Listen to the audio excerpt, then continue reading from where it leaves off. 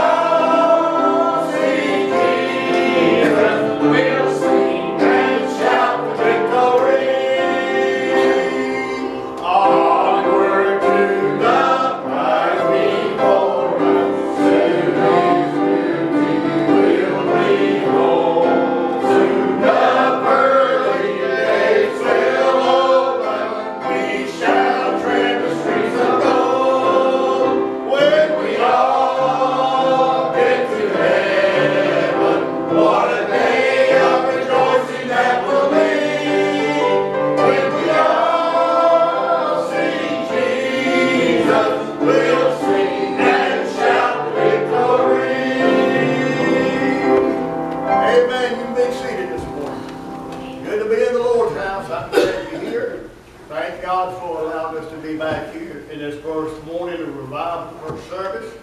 Good to have Rod Duane. We ain't seen him for a while. We haven't seen back in Brother Long in March, but glad he's here in his family.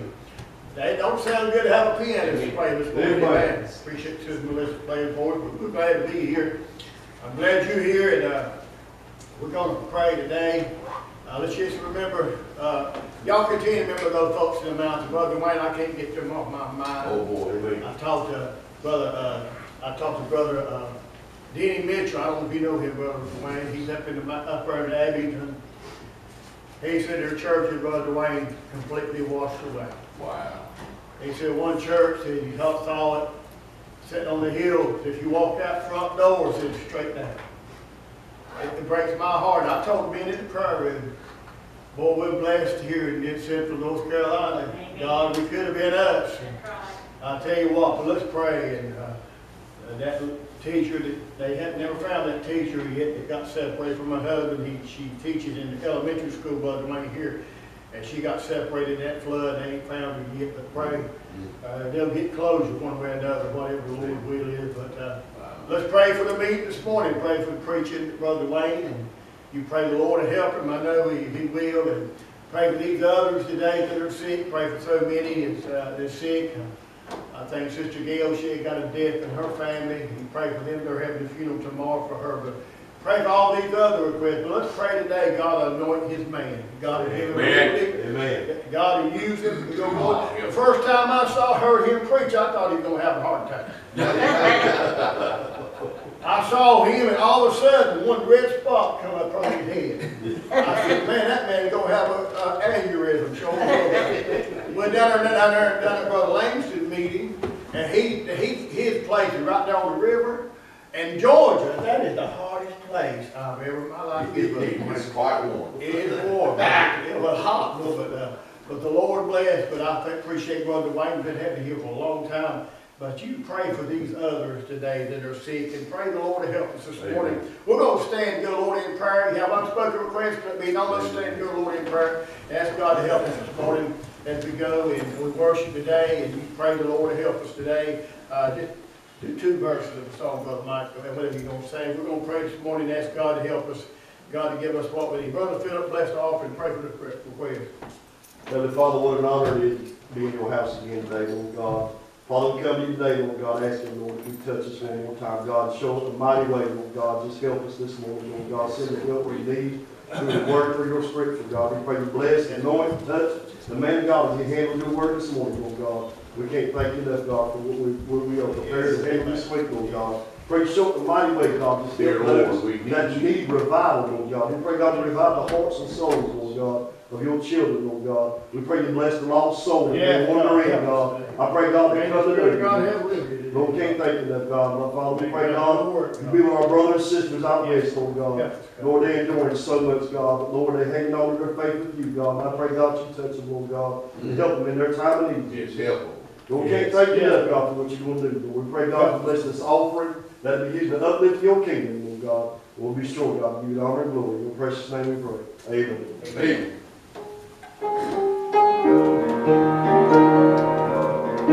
All right,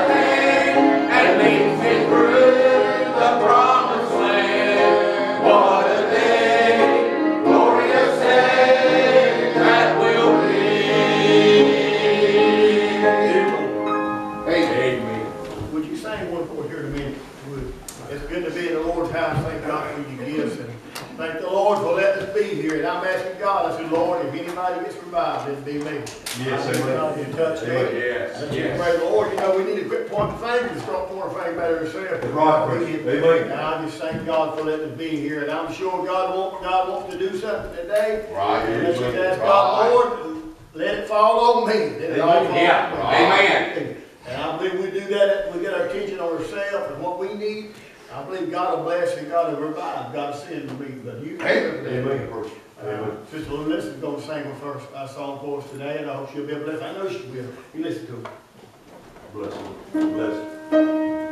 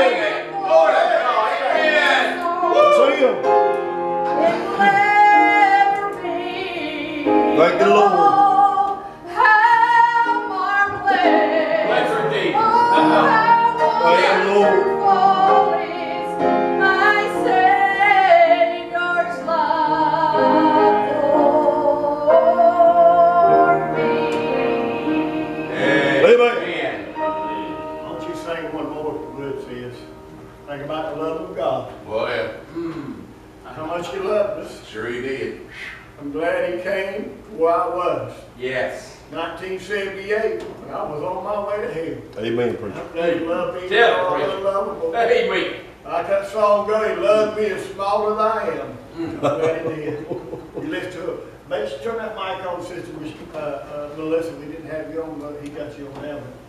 I'm gonna let her sing, get her sing another song. Ain't it good to be saved? Yes.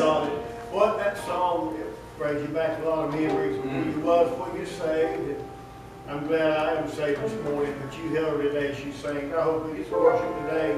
Let God work today.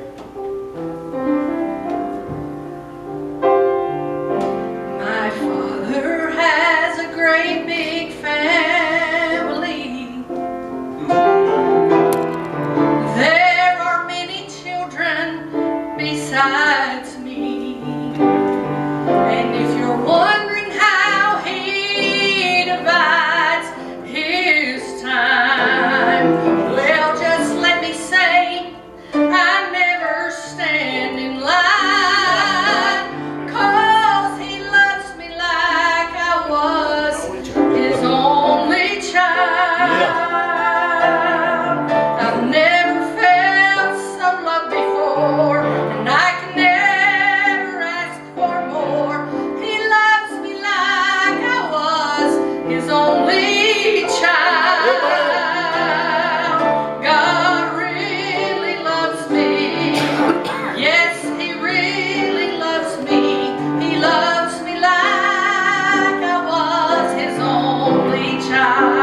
banho.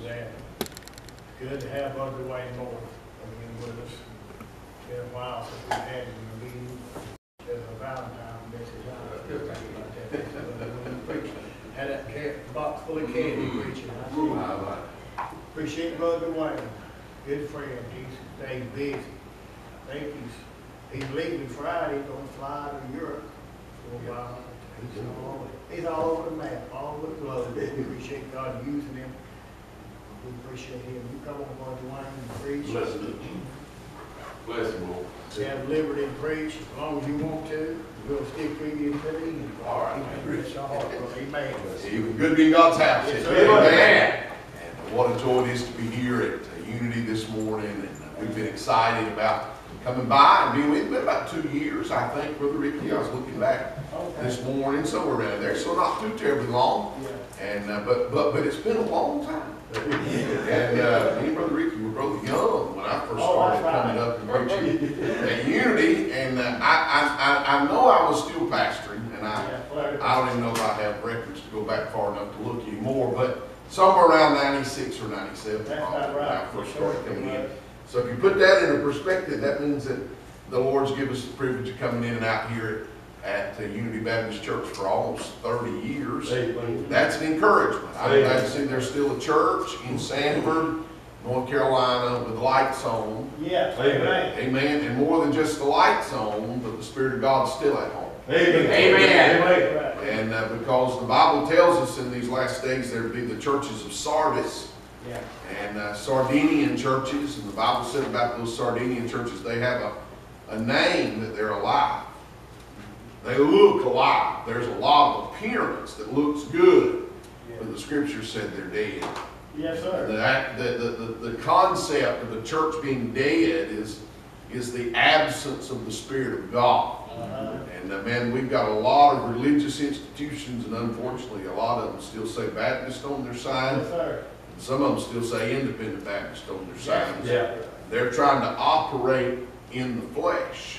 You're right. They want to do what pleases the flesh, what pleases the congregation, what pleases a man, and that rather than pleasing God, they've done it without the Spirit of God. Yes, sir. When you have no spirit, you listen to this preacher, you have no conviction. Right. When you have no conviction, you have no real conversion. Amen. Amen. I- I'm not being judgmental, I'm just telling you what the Word of God would teach us. If you believe you can get saved without the Holy Ghost, you're wrong, badly wrong. I believe you can get saved without emotion. Yeah. I mean, you don't have to cry a bucket full of tears, you don't have to weep and cry an hour. I believe it's a simple request to heaven to forgive your sins and ask the Lord to come in your heart. I get that, Yeah. but you'll never get there. The portal will never open, the door will never open, amen, Amen, without the work of the Holy Ghost. Amen. Amen. And uh, even in that story of John chapter 10 about that good shepherd, the Bible spoke about that porter that opened the door. Yeah, like that. And uh, you'll have to have a porter in your heart to get you in Yeah. Christ. That, the Right. only porter that's ever got me into Christ is the Holy Ghost. Amen. Amen. Amen. Amen? That's good. It's got to be the Holy Ghost. I thank Amen. God for that. I want you to look with me in Deuteronomy this morning, chapter number 24, Deuteronomy 24. Read uh, six or seven verses of scripture and then a little thought that's on my mind about revival this morning. I trust the Lord will help us. I do want to say this. I sure appreciate um, Unity Baptist Church adding us to your mission family in the last several months. And it's just been a tremendous blessing. Preacher's right. I'll say more about it through the week. I'm not going to take Sunday morning time, but but the preacher's right. The Lord helping us. We'll be headed out to Eastern Europe. I leave for Romania on uh, Friday evening out of Charlotte. We were heading out of Asheville, but now we've moved it to Charlotte because of the obvious conditions in and around Asheville. And, uh, and so I'm flying out of Charlotte, we fly to Romania, I'll be in Romania for seven days, and then I'll be picked up by a missionary friend, Brother Keith Blaylock, and driven over to Bulgaria, which is about a four and a half hour ride. And uh, then I'm preaching for, I guess, eight days in Bulgaria. Um, he sent me the schedule about five services in English and about six services in something like that in Turkish, something or another. I don't know. Um, I'll have to depend on one of those inter, I mean, uh, i- i- interpreters. Amen. Yeah. And, uh, and, uh, so that's the schedule, and then uh, actually learned we're coming back into Romania for another church or two before I fly out. And these men know I'm just at their disposal. They don't have to ask me, um, just book me. Amen. Just go ahead and schedule it and tell me where I'm supposed to be and what I'm supposed to be doing, and Yes, we'll be there. So, but I, I said that to say, uh, we'll be in Europe for 19 days this month. We'll be in Scotland for eight days next month. We've just come back from Honduras from eight days, and uh, I was in uh, I was in Uganda in the month of May for 27 days. And we were in Honduras back in January. Made a two-week trip to Montana. I've been to uh, both Minnesota this summer and Wyoming this summer. Uh, the Minnesota trip was is, is a small church, and I'll tell you about it sometime this week. Not necessarily a mission church, but they are getting ready to do a mission church plant, and uh, we're assisting them with that uh, in Monoman, uh, Minnesota. So just a lot of things going on, um, but we couldn't do that if it wasn't for churches just like you. You. So thank you, thank you so much from the bottom of my heart. I'm glad my family is kind of with me this week, all right?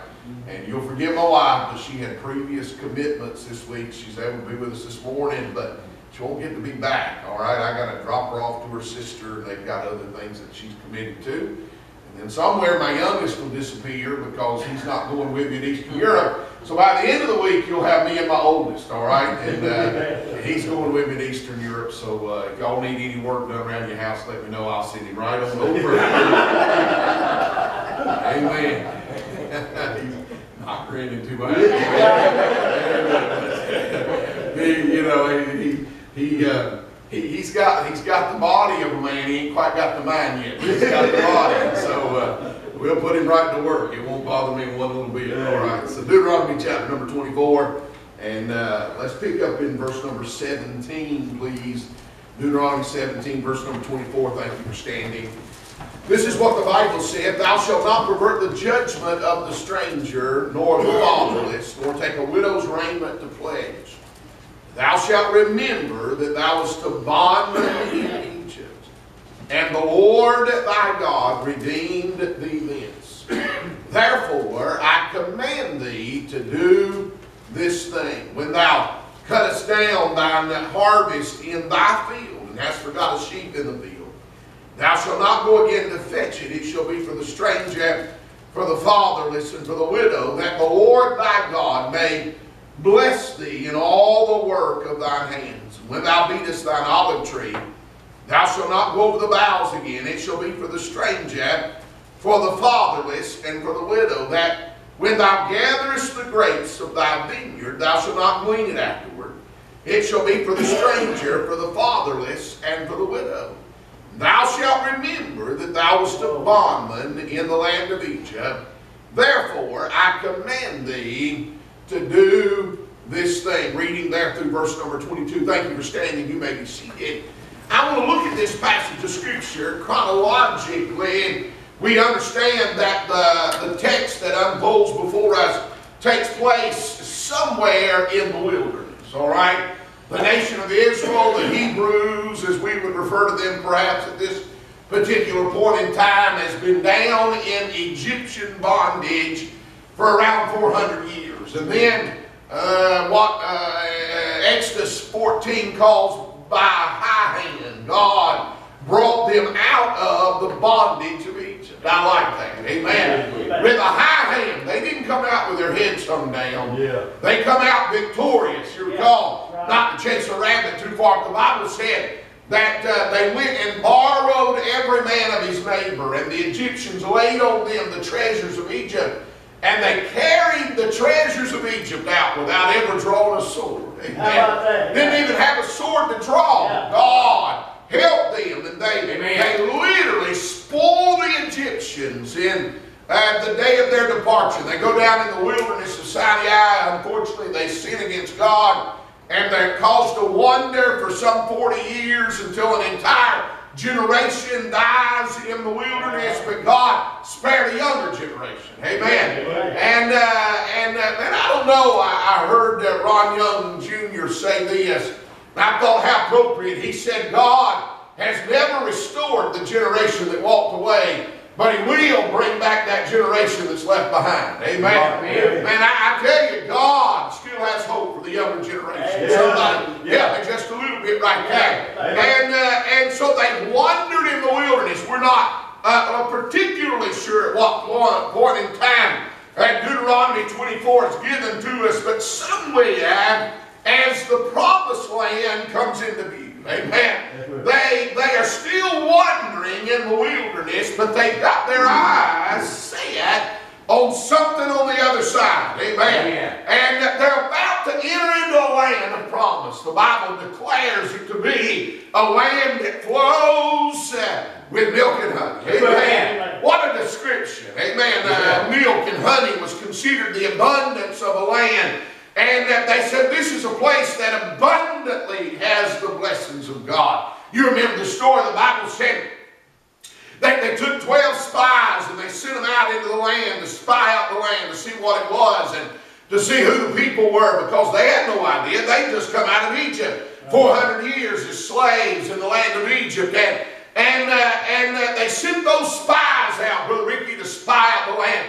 The Bible described it, said they go down into the valley of Eshcol. When they went down to the valley of Eshcol, they said they cut a cluster of grapes. And the scripture said it was at the time of the first fruit. So it's not the peak of the harvest, Yeah. it's the beginning of the harvest. Amen. And he said the cluster of grapes was so big that it took two men to carry it. Amen. Amen. That's a cluster of grapes. Somebody say amen. Sir. Mace Jackson said the great theological discussion was, was it the size of the grapes or the number of the grapes? Amen. I don't have any idea. Amen. Brother Mace said he thought it was the size of the grapes. He said he thought they grew about the size of a basketball. Amen. He said he always preaching, he'd say, they came down to a place where they had to ford the river. One of those spies was a little bit of a girly fella, and he had pretty hair, and he didn't want to get his hair wet. And so he reached over and he pulled one of those grapes off of the cluster, took his penknife out, cut the hole in the top of it, sucked all the insides out, turned it inside out, pulled it over his head like a shower cap, and poured it around. Amen. I didn't find that in the Bible. I understand that. But I where it said it's a land that flows with milk and honey. Amen. He did tell them that when you get to the promised land, and that you're going to live in houses that you will not build. Uh, And he said you're going to eat corn that you did not harvest. Uh, And he said you're going to glean grapes from vineyards and that you did not plant. He said, this is what I'm going to give you as uh, and the people of God. I'd say that's a pretty great blessing. wouldn't? Amen. And so the children of Israel are wandering in the wilderness, uh, uh, perhaps near the end of a 40 year sojourn. uh, and they're, they're, they're, they're, they're not literally, but almost standing on the brinks of the Jordan. uh, and they're getting ready to look over into the promised land that God's going to give them. uh, and God speaks to them in Deuteronomy 24. And what he says to them in Deuteronomy 24 is this. He said, before you go across the river, and before you inherit the blessings that I have prepared for you, and that I have purpose for you, he said, there's some things you're going to have to remember. Amen. Right. And uh, we might reverse that if we chose to in our mind and say this, there's some things you can't afford to forget. Well. There's some things you're going to have to continually reaffirm in your mind. And uh, he said, if you don't do that when you cross over, if you don't do that, you'll forget where you came from. Yeah. You'll forget what God's done for you.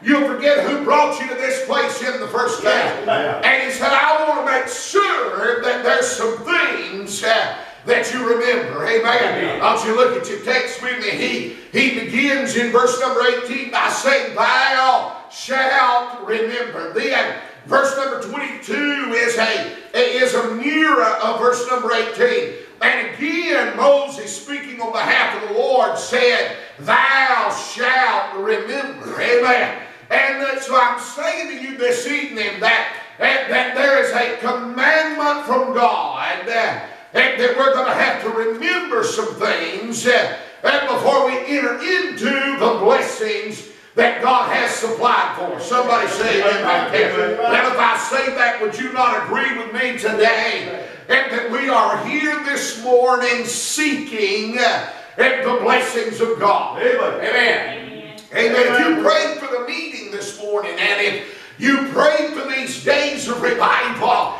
you're asking God to bestow a blessing in our direction. Amen. We're asking God to allow us to worship. We're asking God to speak to our hearts. Uh, and Brother Ricky said we're asking God to revive us or to uh, put some life back in us to restore that which we seemingly have had taken away from us. Uh, we're asking God to give the preacher liberty and to send the message. Are, are- we not in agreement this morning that, that what we're looking for is the blessings of God? Amen. And just like the nation of Israel was seeking the physical blessings in a house or a, a field of corn or a vineyard, you and I are seeking the spiritual blessings of God. We need that restoration. Amen.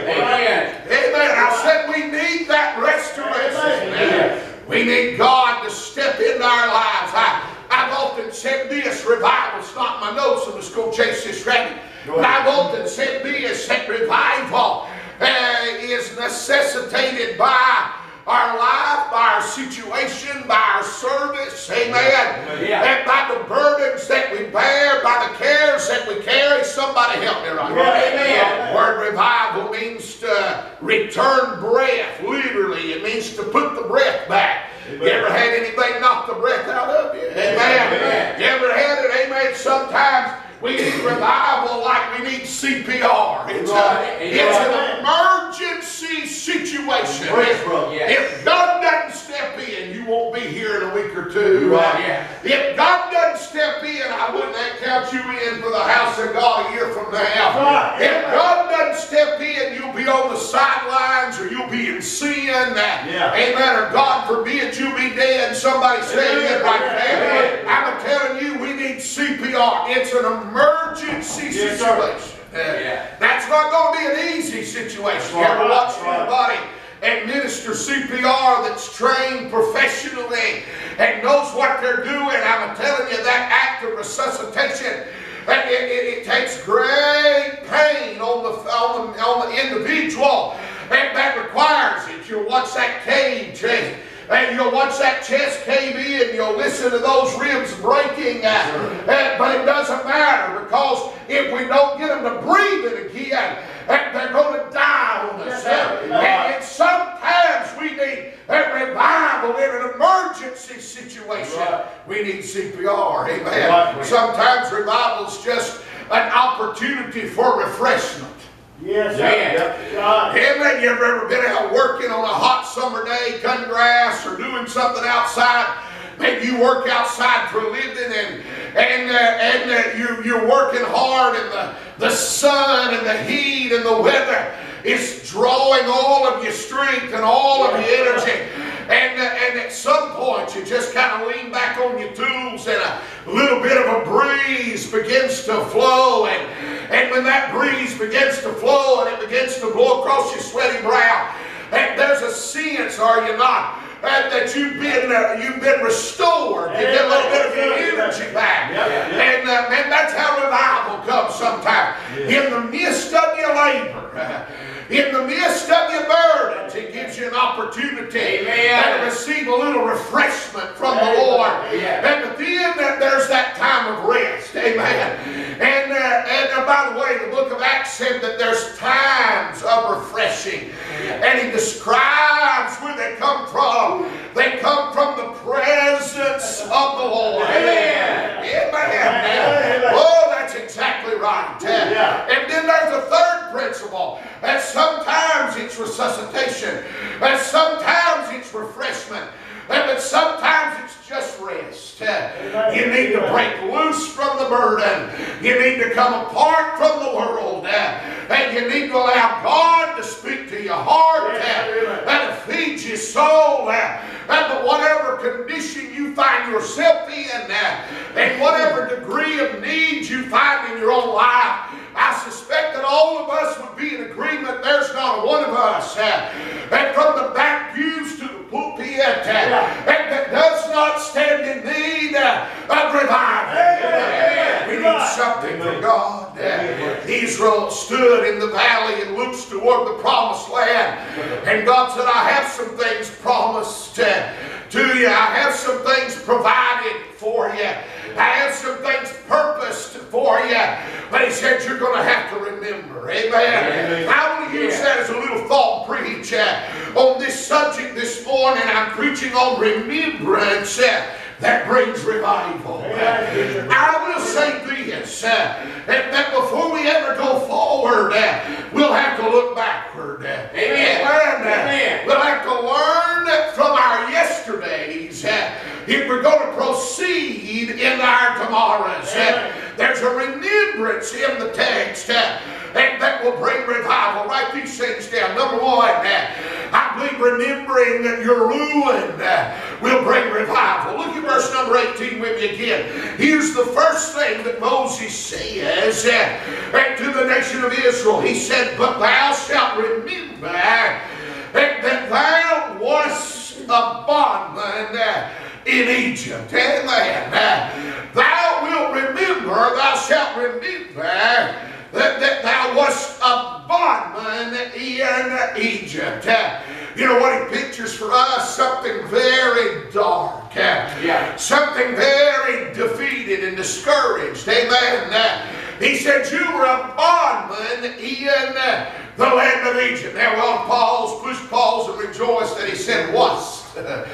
You're not there anymore, but you used to be. Uh, Yeah. If we're ever going to go forward and inherit God's blessings, uh, we'll have to look back at where He found us at. Amen. Amen. And I'm going to tell you, when the Lord found you, His ruin. Yes, Lord. Yeah. Amen. Amen. Let's not think more of ourselves than we ought. Amen. We all cleaned up pretty nice for Sunday morning. Amen. You smell pretty good and you look decent. Amen.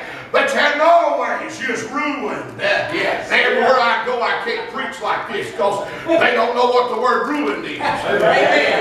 And you preach in the city and they don't get it. Amen. You gotta watch it if you're preaching with a translator. They don't always have a, a, sit- a, a, a- a significant word in there in their dialect or their language. But but but I think up here in Sanford, uh, you folks probably know what ruined is. Amen. I tell people my mama had a smell test for what was ruined. Amen. You stop by the house and and and and and, and I needed a little something. You know, you go look in the refrigerator and there's a little bit of milk in a jug or there's some casserole from last Sunday sitting in a Tupperware dish or a or a, used butter cup. Somebody say amen right there. Amen. And uh, and uh, you want to know if that pack of lunch meat's still any good? You say, hey mom.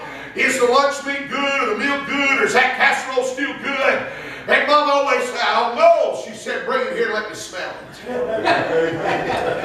bring it over here and let me smell it. Amen. Uh, oh, by the way, she didn't trust my ability to smell it. Amen. I've preached this message a dozen times, I guess, or more, but I've never preached that. Amen. But mom never did trust me to smell it. Uh, Sometimes my snows didn't smell right. Amen. But I'm telling you, if you trust uh, yourself to determine if you're ruined or not, you probably won't ever think you're ruined. Amen. It's not about what I think. It- It's about what you thought. Amen. Amen. And then mom would say, bring it over and smell it and let me smell it. And I'd, I'd take it over there and she'd smell the milk or the ham or the casserole and then she'd pronounce her verdict, Brother Ricky. And she'd say, oh, it's all right, go ahead and eat it. Uh, or drink it. Or she might say, oh no, uh, when she smelled it, she'd say, that's ruined. Uh, and don't throw it in the garbage can. Don't put it back in the fridge. Uh, and don't leave it out on the countertop. It's not good for anything uh, except put it in the garbage heap. Amen.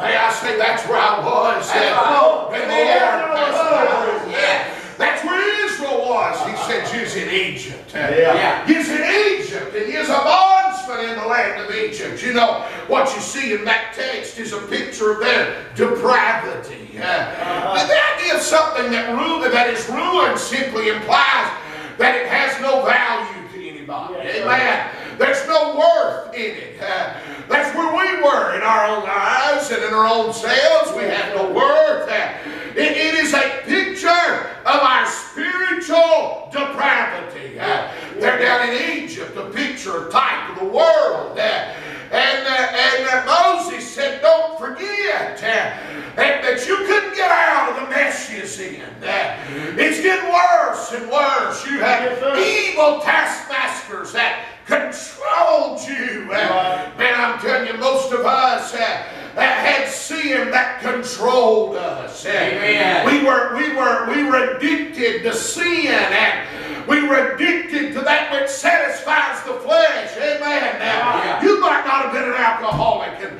you might not have been on drugs, but sin had a hold of you. Yeah. We could not help ourselves. The word depraved is a misused word by some that have a heretical theology. And may I say depraved is a Bible principle. Yeah. It implies that unless God steps in, you cannot help yourself. That's where I was with the Lord. Yeah. You're right. Speaks about my depravity. I was in Egypt. It speaks about my debt. Yeah. Uh-huh. The Bible uses an interesting expression in verse 18. Thou wast a bondman in Egypt. Uh, Now, now, if you study these uh, Old Testament books, and there's several occasions when and the Lord used a different word to describe Israel's condition down in Egypt. He talks about them being slaves. Uh, But in this text, he doesn't talk about them being slaves. And rather, he talks about them being bondsmen. Now, bondsman is different than a slave. Uh-huh. And yet they're both the same. And the same or similar quality is they're both they're both under the restriction of another. Amen. They're both the captive of somebody else. The difference is that a slave has been overtaken. A slave has encountered somebody that's bigger than he is. But a bondsman is somebody that is there because of the choice that they made. Uh-huh. Because of the consequences of their actions and their deeds. Amen.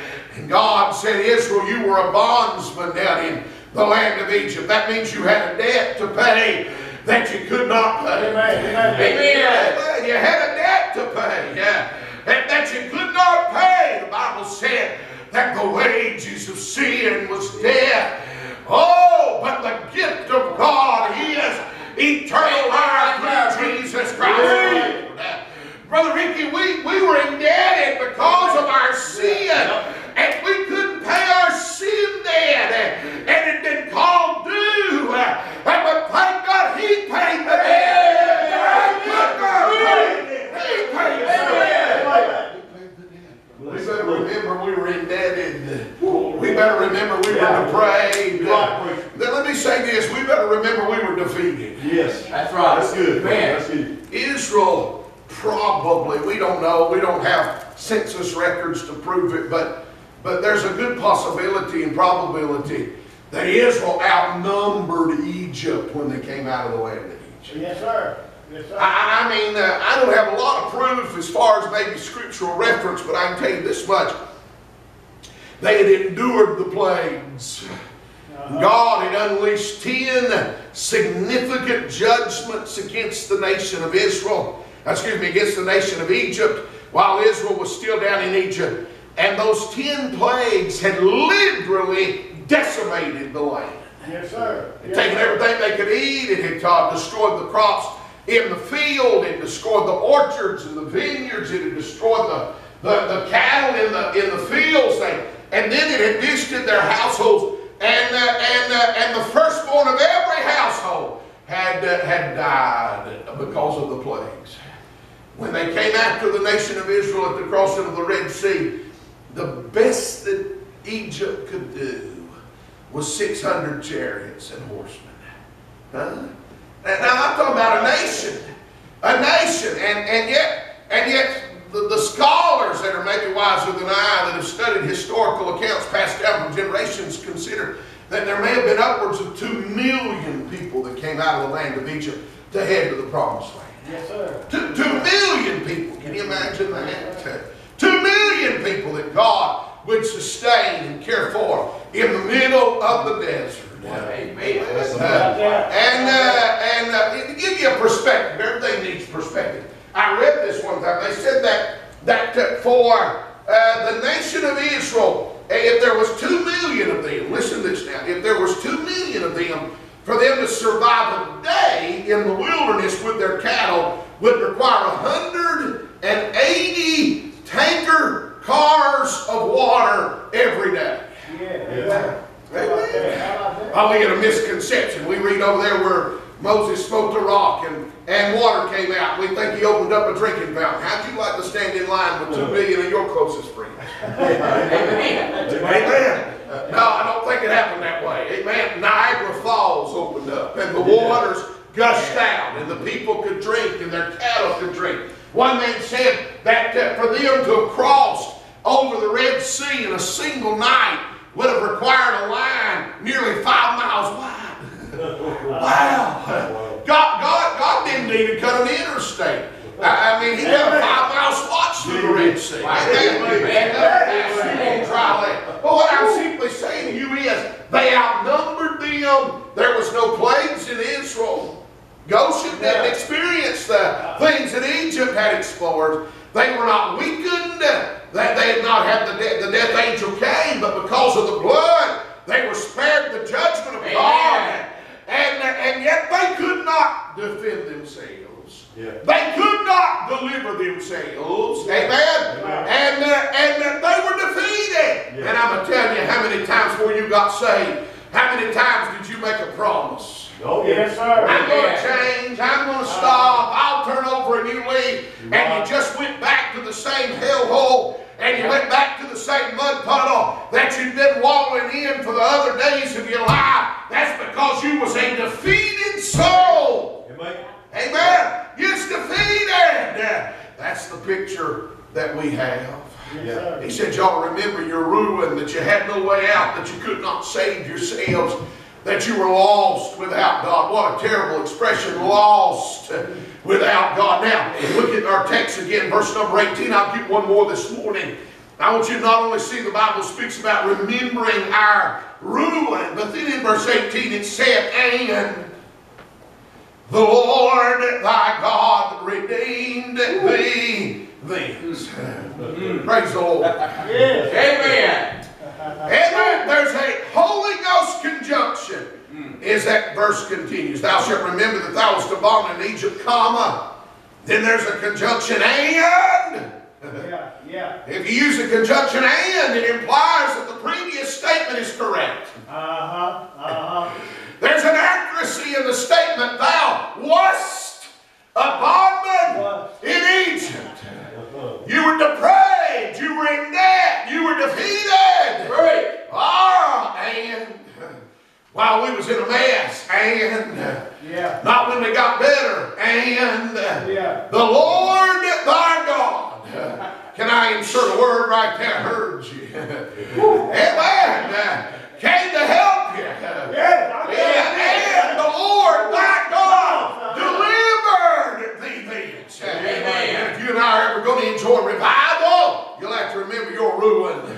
Yeah. You'll have to remember where he found you. Yeah. You'll have to remember how lost you was. Amen right there. I'll tell you, you'll have to remember your redemption. Amen. Oh, let us not be, let us not be guilty of forgetting what Christ has done to save us. Amen. Amen. Amen. I wonder preacher. how dim Calvary grows in our minds. Yes. Listen to that. Amen. I wonder how dim Calvary grows in our minds. Do we daily visit the foot of the cross? And do we allow the Holy Ghost to remind us of what Christ has done on our behalf? Amen. Number one, I want you to notice in this text, I thought about Romans 5 and God commendeth his love toward us. In that while we were yet sinners, Christ died for us. Amen. Not when we got better, but now God's Son died in our place. Notice their deliverer. We're talking about our redemption. The Lord thy God redeemed thee then. And I want you to notice their deliverer. There's three words used in the text to describe the deliverer. Notice it. And he said, Thou shalt remember that thou wast a bondman in Egypt. And here's the three words, the, really four, I guess we use the word thee. And the Lord thy God redeemed thee. Yes, sir. Amen. The Lord thy God. Hey, if you're ever going to have revival, you'll have to think about your deliverer. Yes, amen. Amen. Listen. You'll have to remember the one that has brought you out of the mess you was in. Amen. Amen. You didn't do it. The preacher didn't do it. The church didn't do it. Your mama didn't do it. Amen. But it was the Lord that, that delivered you. Amen. The Lord, Yes. thy God. Notice the phrase, the word Lord, in your Bible. Look there. It's capital L, capital O, capital R, capital D. We understand that's the that's the, transli- the transliterated word for Jehovah. Amen. In other words, our Bible translators are giving us a word to remind us there's no question about whom this individual is. Amen. Amen. It's not the little g gods of the Amorites and the Perizzites and the Hittites. It's not all those idolic, uh, idol gods of the Egyptians. And but the Lord that has brought you out of the mess is in is Jehovah. He's the Lord. Right. He's the one that is Yeah. in authority. He's the one that calls the shot. And the Bible uses the expression, He's the self existing one. Yes. Amen. He just always has been, and he always will be. Amen. That speaks about an authority. Yes. God has authority. Amen. Amen. Wait a minute, he's not done. He said he's the Lord thy God. The last word in that little expression is the word God. El Shaddai. Mm. It means Almighty One. Yeah. It's a reflection of His ability. Lord is a reflection of His authority. But God is a reflection of His ability. I'm glad, hey, listen, I'm glad that He's not only the God that can, but He's the God that has the authority to do it. Amen. I, I've known sometimes when I, there was a situation where I might have had authority to act, but I didn't have the ability to do anything about it. Uh-huh. I'm glad that's not true with our Lord, Amen. because He both has oh, authority Oh, yeah. and He has ability. Amen. By the way, since we're talking about redemption, let me explain what the authority and the ability of God is. Romans chapter 1, verse number 16. Paul said, I'm not ashamed of the gospel of Christ, for it is the power of God unto salvation. That word power means that it is God, the gospel. That is what the gospel reflects. The gospel is God's authority to save, and the gospel is God's ability to save. Amen. Amen. Amen. The Bible teaches us the gospel is that Christ died for our sins according to the scriptures, and that he was buried, and that he rose again the third day according to the scriptures. That according to the scriptures established his authority. He did it the way God wanted him to. Amen. And then because he died for our sins, uh, was buried and rose again, that's his ability. He has covered our sin debt. He's made away with his own blood. Amen. Praise the Lord. That's authority. He's God. That's ability. But I really like that little middle word. It's the word thy. It doesn't deserve a capital T, does it? It's you and me. He's the Lord thy God. Well, that brought it personal. He's not just the Lord God. He's the Lord thy God. Yeah. Hey, Israel, he knew where you was. Hey, Israel, he didn't forget about you. Amen. Hey, Israel, he didn't forget the covenant, the promise that he made to Abraham and to Isaac and to Jacob. He, he hadn't forgot that you was down in Egypt. Amen. And that word thy speaks about his personal relationship with you and I. Therefore, it speaks about his accessibility. I'm glad he's not a distant deity that cannot be reached with the feelings of our infirmity. I'm glad that he's an ever-present help in the time of trouble. He is my God. He's mine. He's mine. He's mine. I'm his, the songwriter said, and he's mine. Uh, notice the deliverer, then notice the deed. The Lord thy God redeemed thee.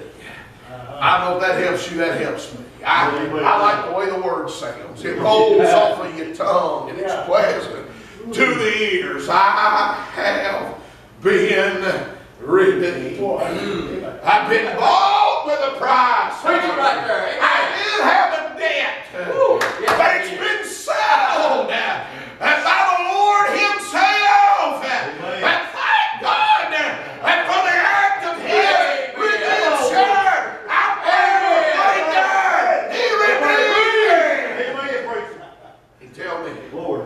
this act of redemption is identified in this verse has to do with the, the, the, the, the Jewish ideology of a kinsman redeemer.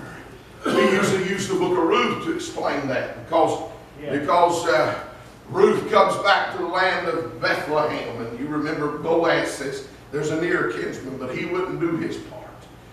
So Boaz redeems her as the next of kin. And that kinsman relationship or that kinsman redeemer, according to the tradition of the Jews and some scriptural principle, it had three qualities that had to be that had to be met. Number one, there had to be the right relationship. He had to be the next of kin.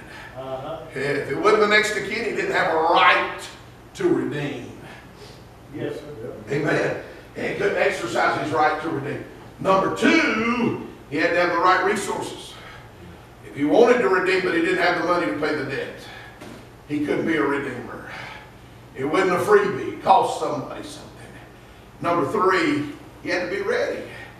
He was not, uh, he was not bound by the law to redeem. There was certain circumstances, if a man had a brother and the brother married he was unable to raise up children, then that, then that brother was, was, was, was uh, bound to marry that brother and raise up children to his, to his deceased brother. But if he's just a near kin, as it was in like the story of Boaz and Ruth, there's no, there's no obligation. It, it, it, it's not an act of requirement, it's an act of will. It's because the one who has the resources and the one who has the right uh, is ready to redeem. Amen. Amen. Well, I'm sure glad that I, I have a kinsman redeemer and he has the right relationship because that the Word was made flesh Oh, and dwelt among us. Amen. And because the God of heaven took on the robes of humanity and because he which knew no sin was made sin. I'm glad he has the right relationship. Amen. I'm glad he has the right resources. Oh yeah, amen. In him was no sin. The Bible said not guile. There was no guile in his mouth. He never thought an evil thought, but he died anyway. And it's his righteousness that gives him the resources that to be a redeemer for you and I. Then Amen. there's the right readiness. He didn't have to. Let me say that again. He didn't have to. Right. That's right. But he chose to. Amen. He set his face as a flint toward Jerusalem, knowing what waited on the other side of the wall.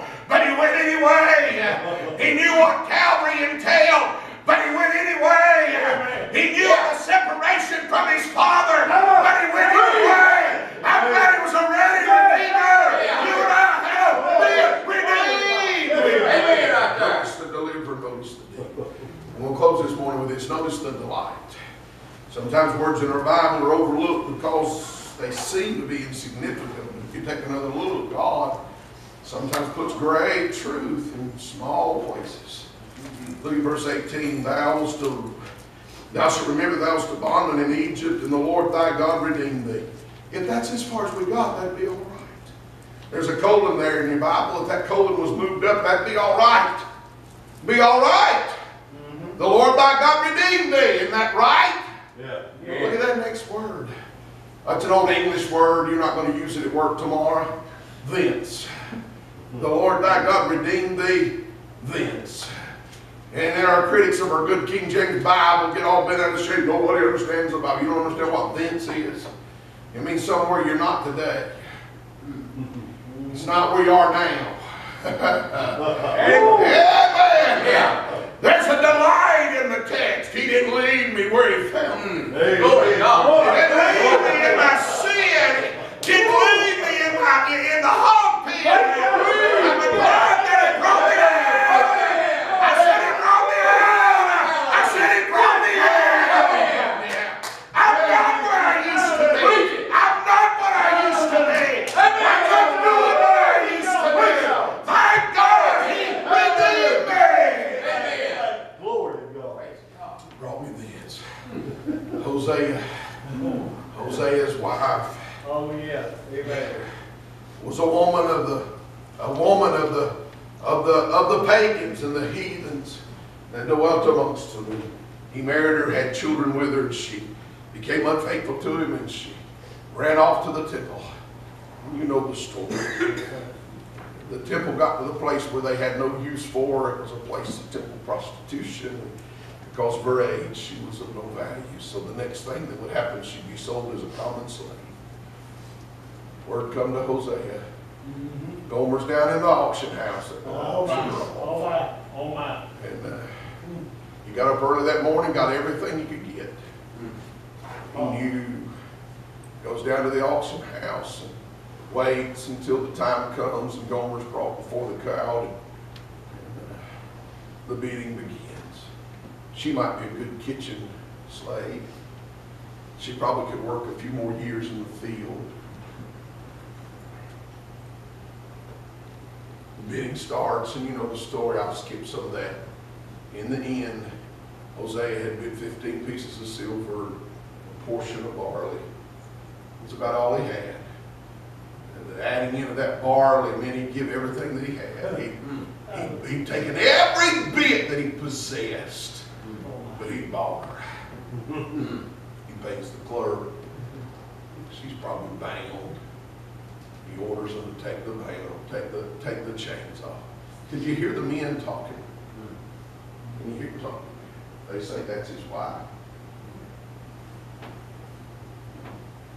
They say that's his wife. She did him wrong. They, they, they say that he, he bought her, even though she'd been unfaithful to him and wouldn't come home to his children. They probably laughed a little bit. They might have made a statement like this, let's hang around and see. I bet there's going to be a beating today. They were a violent society. They like to see the violence. I imagine they uh-huh. thought, he, he may kill her today. And by the way, you had every justifiable right Yeah. to do that. He could have left her bound up in the stocks, All mine. All but he didn't. All mine. I imagine she was trembling when the clerk handed him the key. She thought, this is it. I'll pay for my deeds today. He unlocked those things, she probably cowered down, shielded herself, expecting the blow from his hand, from his fist, or whip, rod. But rather than get a blow, she watched as he stood her up begin to rub the place where the bonds had been on her hands until the circulation returned. Begin to stroke her hair back. Lord. Might have kissed her on the cheek. And she said, what are you going to do now, Hosea? And she said, he said, go on. We're going to go home. You're my wife. We're going to go home. And she was in Barnes when he arrived, but she walked out with his hand in hers. And I'm a telling you, uh, he didn't leave me where he found me. In the bonds and the boundaries of sin. I, I know he hadn't finished with me. He's not there. Uh, But I'm a telling you, there's a dent in my life as a believer. I'm not where I used to be. Bless his name. Bless his name. But I need to understand God's got some blessings prepared. He, he has something for us. He said, but you'll have to remember. Number one, you have to remember you was ruined. Don't think a lot of yourself.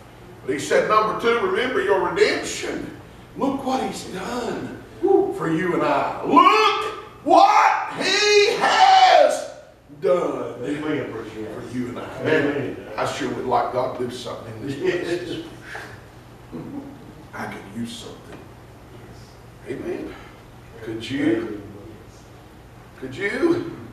A little reviving in your spirit. You say, preacher, does that mean I, I, I don't have a long list of sins? I've not been out at the honky tonk or getting drunk on Saturday. I didn't say you had. I'm just telling you, we get to a place where life closes in Yeah, and squashes the life out of us. yeah. And when it happens, we need revival. God knows we could use a little reviving in the midst of our bondage. And the Lord whispers, I got it. But you're going to have to remember where you was and what I've done for you hmm. For me to give you what I got for you. Let's stand our feet. Heads are bowed, eyes closed. I'll have Melissa come and play over the piano. Altars are open. If you need to come, maybe you just want to come and say, Lord, thank you for saving me. Then while you're there, you can say, Lord, put me in a mind where I can have revival. Put me in a place where you do something in my heart. Put me in a place where I can hear when you speak.